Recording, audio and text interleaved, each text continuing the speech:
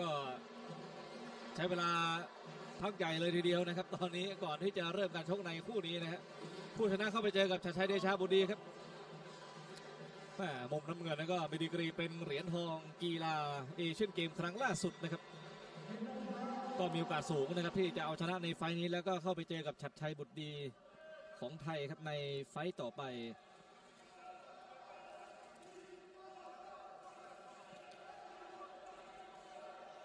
มุมแดงก็จากคีกิสถานนะครับ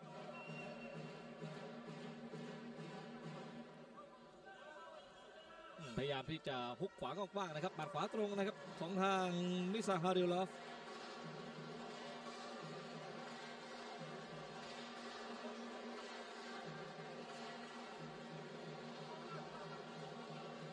พยายามเดินเข้าหานะครับจิ้มซ้ายไป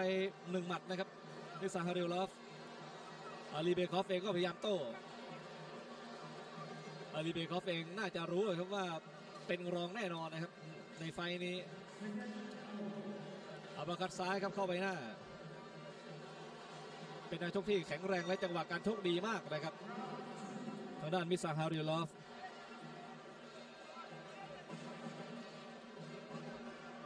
พุกซ้ายนะครับได้ที่ใบหน้าอีกหนึ่งหมัด อ่าอะไรครับพุกซ้ายหนึ่งหมัดนะครับหมัดหน้าดีมากๆนะครับพิซาริลอฟอู้หูข่าวนี้วืดไปครับหมัดขวาตรง พยายามตัดลำตัวครับกองเชียร์อุซเบกิสถานก็เหมือนเดิมเลยครับทุกครั้งที่นายชกของตัวเองขึ้นสังเวียนก็พยายามที่จะตีกลองให้กำลังใจ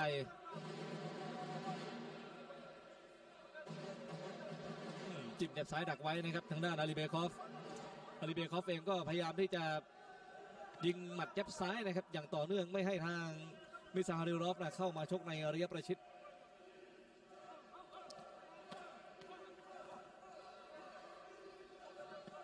ตัดลำตัวครับมิซาฮาริลอฟพยายามต้อนเข้าที่มุมให้ได้นะครับมิซาฮาริลอฟเอาละครับแหมยังพลิกมาอยู่พื้นที่กว้างได้นะครับ ทางด้านอาลีเบคอฟ หมัดซ้ายแย็บสองหมัดนะครับเข้าที่ใบหน้าของทางมิซาฮาริลอฟโอ้โหเจอหมัดชุดกับคราวนี้ ตัดลำตัวเร่งมากขึ้นเรื่อยๆนะครับ ยิ่งอยู่ในช่วงท้ายโอ้โหแม่ล้มลงไปทั้งคู่นะครับ กรรมการก็ต้องเช็ดนวมให้กับทั้งสองฝ่าย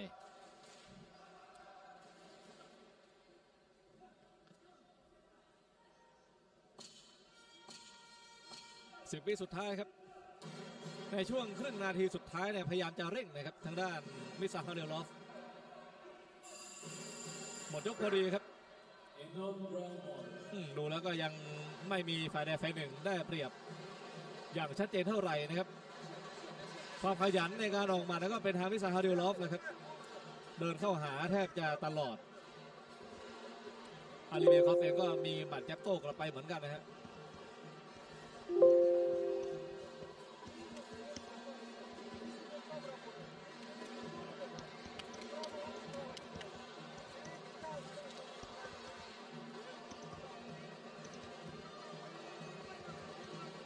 นี่เป็นจังหวะที่ล้มลงไปด้วยกันทั้งคู่นะครับ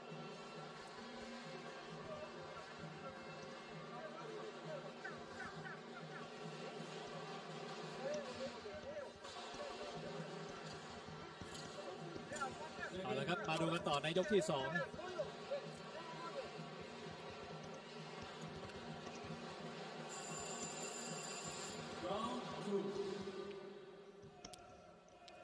เอาละครับมาดูกันต่อครับ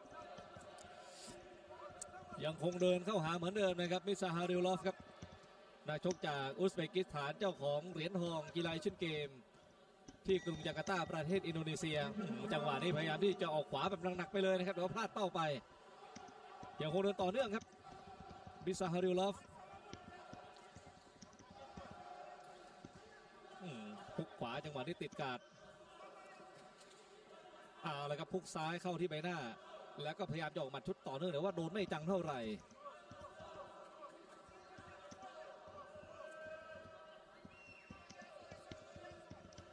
จับซ้าย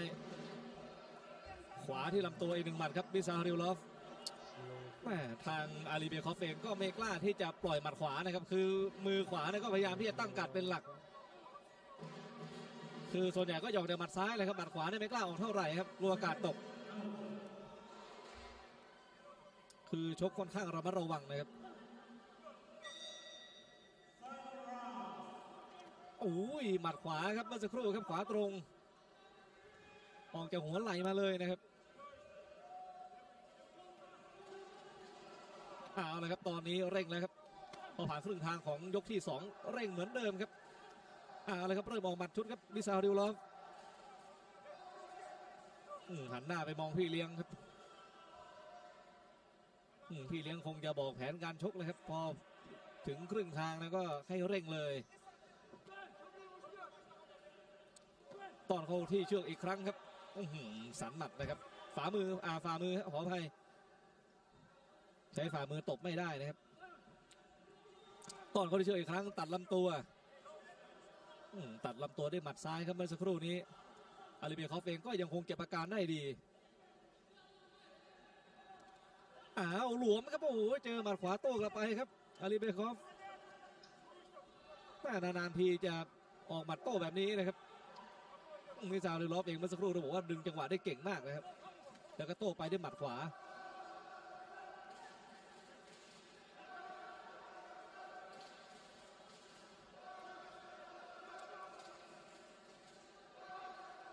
เอาเลยครับหมัดขวาอีกหมัดหนึ่งแต่ว่าโดนไม่จังเท่าไหร่ครับมิซาฮาริลอฟ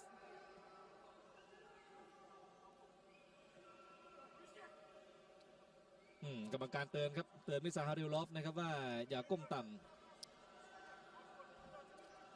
สิบวิสุดท้ายครับอุ้ยฮุกซ้ายครับโดนไปหน้าแหมเสียงดังฟังชัดเลยครับเมื่อสักครู่นี้ใบหน้าเริ่มจะแดงอาลีเบคอฟตัดลำตัวด้วยหมัดขวาอีกหนึ่งหมัดแล้วก็หมดยกครับอืมแผนการชกของมิซาฮาริลอฟนะครับมาเร่งนะครับในช่วงท้ายเหมือนกันสองยกเลยครับ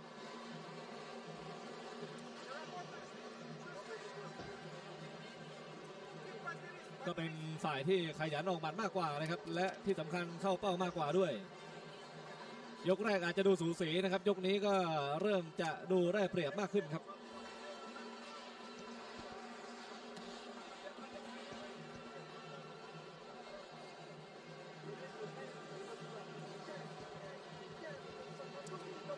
โอ้ดูฮะเหมือนกับเชียร์ในบ้านนะครับก่อนจะอุซเบกิสถาน แต่งชุดนักรบโบราณของอุซเบกิสถานมาเชียร์ด้วย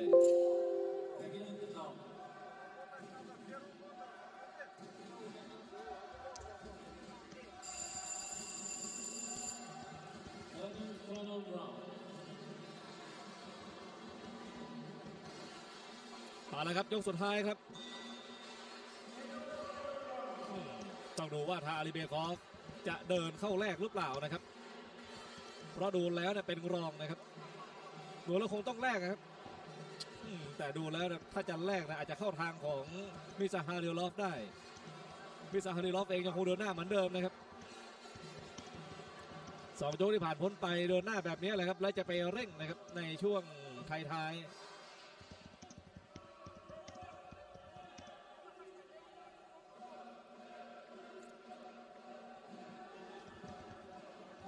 อ่าแล้วครับจิ้มหมัดขวาโดนปลายหมัด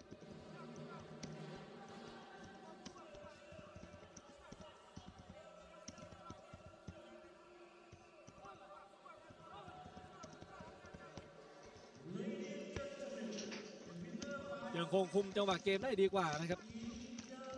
มิซาฮาเรลลอฟออกหมัดชุดครับในระยประชิดจิ้มหมัดซ้ายอีกหนึ่งหมัด เละครับตัดลำตัวด้วยหมัดซ้ายครับ อืมแต่ว่ากรรมการมองว่าต่ำกว่าเข็มขัดนะครับ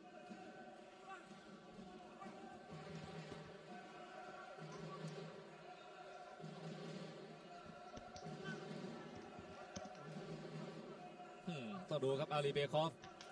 จะกล้าไหมครับในการเข้ามาแลกกับเจ้าของเหรียญทองเอเชียนเกมถ้าดูแล้วถ้าชกทรงนี้นะครับยังไงก็ น่าจะแพ้คะแนนอยู่ดีแหละครับ เพราโดนต้อนตลอดหนึ่งสองเข้าไปหน้าแหมวืดนิดหนึ่งแต่ก็มีวิธีในการป้องกันตัวนะครับ ด้วยการดีดออกด้านข้าง ตอนเข้าที่มุมอีกครั้งครับอุ้ยหมัดขวา พลาดเป้าไปนิดเดียว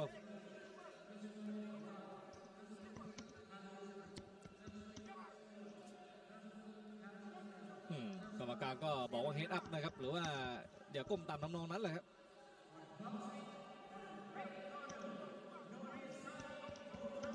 ปัดสายจิ้มดักไว้นะครับ ทางด้านอาลีเบคอฟจากคีกิสถาน เชื่อว่ามวยคู่นี้สตาฟโค้ชไทยก็ดูไปด้วยเลยครับ ศึกษาการชกนะครับ เพราะว่าจะเป็นคู่ชกด่านต่อไปของชัดชัยเดชาบุตรดี ชกแบกการหนึ่งสองสามสี่นะครับ และอัปคัตอีกหนึ่งหมัด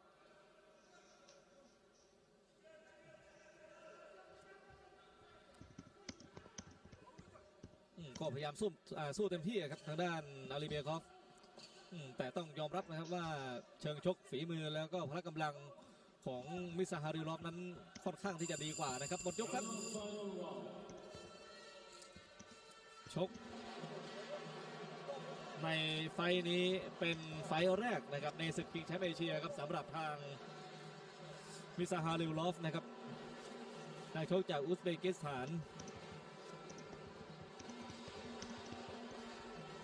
เจ้าของเหรียญทองเอเชียนเกม ครั้งล่าสุดนะครับ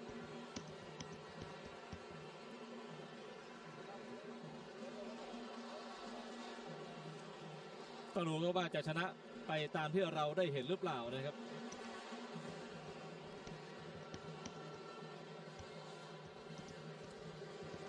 เอาละครับต้องดู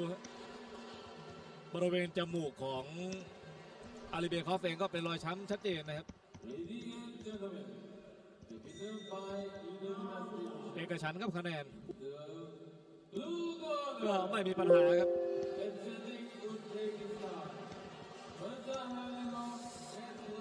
มิราซิสเบก